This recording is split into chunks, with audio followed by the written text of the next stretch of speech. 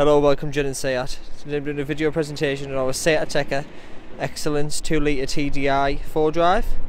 Starting at the front, as you can see the vehicle comes with front LED headlights.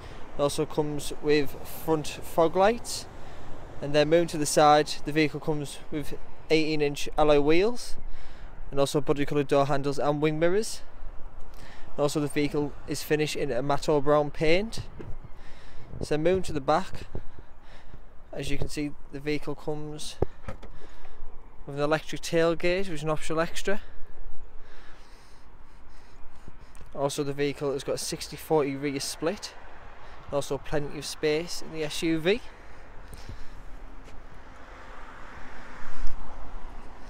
so then moving to the interior.